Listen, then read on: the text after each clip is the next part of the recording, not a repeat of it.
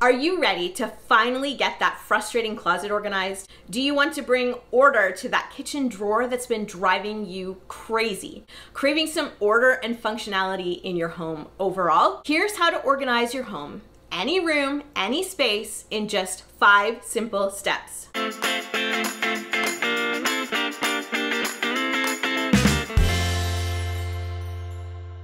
No amount of decorating or organizing will ever fix too much clutter. Decluttering always has to come before you can organize. Technically, you can do both, declutter and organize concurrently, but for the sake of clarity, let's just talk about the actual organization process right now.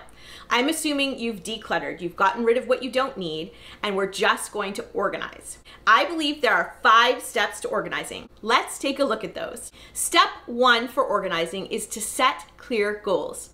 I'm not a big planner. I'm fairly certain I have some undiagnosed ADHD, and planning and goal setting is really hard for me. Maybe that's you too, but maybe not. Either way, the kind of goal setting I'm talking about here is super simple. You're really just going to find your why. What's your end goal? Your why can be hugely motivating to get started and to keep you going with the task of organizing your home. So you need to define what you want to achieve with your organizing. Why do you want an organized home? Is it for easier access, better functionality, better sleep, less stress to save time or money? Or even just for more aesthetically pleasing space. Your why will keep you going when things seem overwhelming. Step two for organizing any space is to prioritize your spaces. After you've defined why you want an organized home, you need to decide which room or space needs organizing first, or if you've been doing this for a while, next.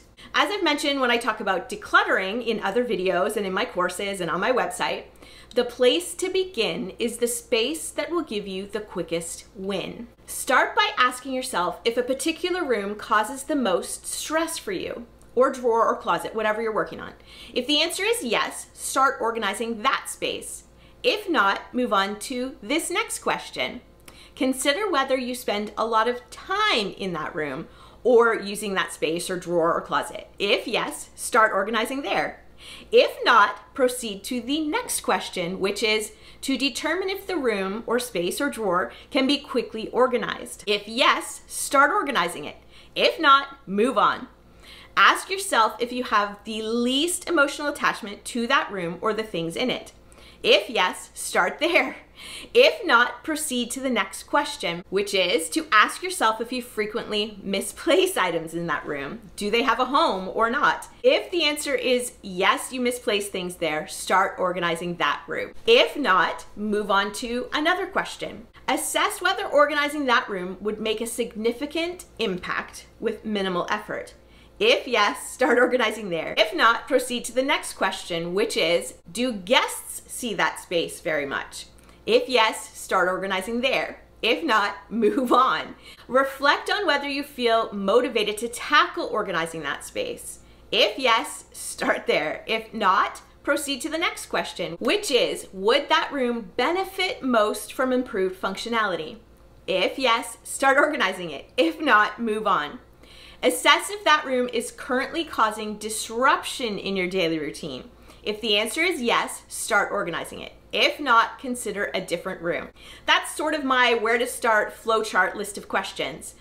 Organize the space that needs it most, but that will also give you a sense of accomplishment fairly quickly so that you keep organizing the rest of your spaces. As you go through your house and you organize more and more rooms, obviously the answers to those questions will be harder to answer. So you'll have to choose using that sort of flowchart of criteria. Are you ready to transform your home but not sure where to start? Join me for my free popular class, Embrace Your Space, where I'll share my proven process for creating a home you love to live in. In this workshop style class, you'll learn the exact steps I've used for years to turn cluttered chaos into beautiful, organized areas in my home. I'm also going to teach you my foundational step to loving the home you live in, including my secret for loving your home as it is right now, even if it's nowhere near being your dream home. Don't miss this opportunity to start your journey toward a home that reflects your style and feels like you. Sign up for the free class today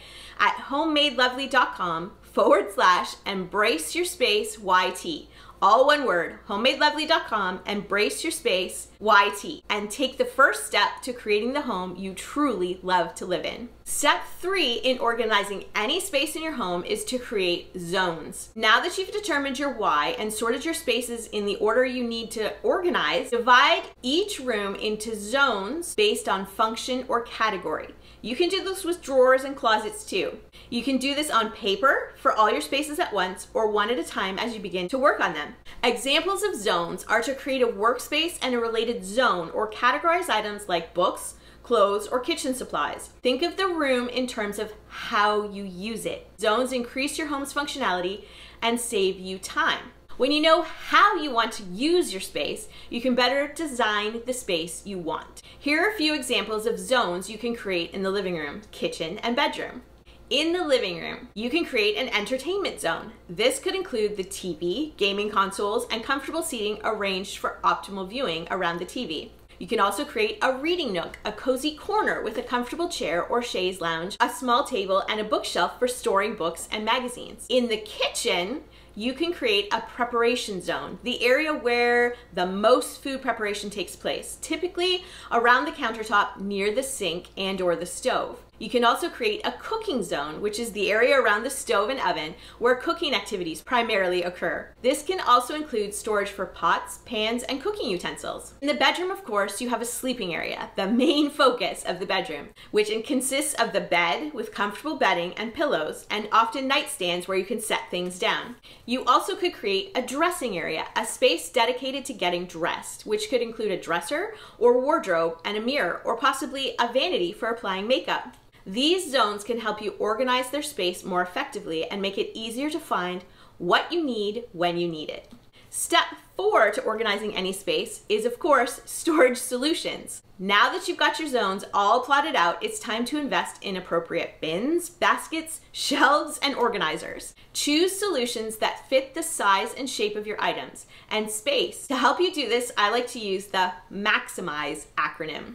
The M is for measure your space. A is to assess negative space. In this case, negative space refers to the areas in a room that are currently unused or underutilized. After you measure and assess the space, you explore creative solutions and think outside the box. The I is to invest in a variety of storage. The next M is to maximize usable space. And then the I is to incorporate your lifestyle needs. Who uses the room? Who uses the space? Is it little kids? Is it older people? You need to choose suitable storage solutions for who uses it and your lifestyle. The Z in the Maximize acronym is for zeroing in on consistency in your storage pieces. If you have open shelving, you probably want the storage pieces to at least coordinate, if not match. And the final E is for extras buy extras and then return what you don't need. The fifth step to organizing anything is to label everything. Use labels where needed and appropriate to identify the contents of containers, shelves, drawers, etc. In a labeled home, chaos becomes clear and everything finds its place. Labels are like a map for your organized home, navigating, guiding, directing you to the designated spot and the precise place for every item. Labels make it easy for everyone in your house to put things away where they belong. Labels are the key to getting and staying organized. Labels are like a map for your organized home. They make it easy for everyone in your house to put things away where they belong. So there you have it, how to organize your home in five steps. Step one, set clear goals. Step two, prioritize your spaces. Step three, create zones. Step four, storage solutions. Step five, label everything. Those are the five steps to organize any space in your home. If you enjoyed this video and found it useful to learn the five steps to organizing your home, please give it a thumbs up and hit subscribe down below so you don't miss any of my future videos focused on creating a space you love.